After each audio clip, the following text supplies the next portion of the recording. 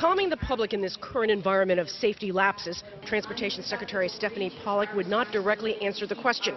How easy would it be for someone with bad intentions to gain control of any train? So the investigation will determine both whether our existing procedures, if followed correctly, were sufficient to protect the safety of our passengers, and if not, we will obviously make changes in those procedures, and it will also investigate the extent to which the required procedures may or may not have been followed. Since 2011, Red Line trains have had only one MBTA operator on board.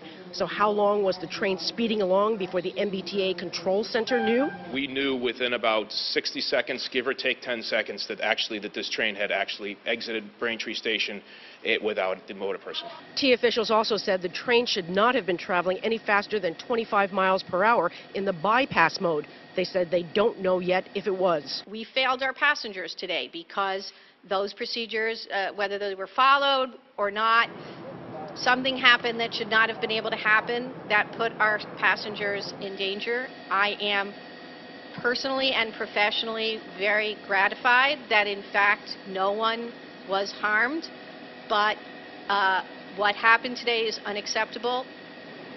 Now, three state agencies are investigating, um, along with one federal agency, and the NTS, NTSB is making a decision on whether it will join them. Reporting live from Boston, Janet Wu, WCVB, News Center 5.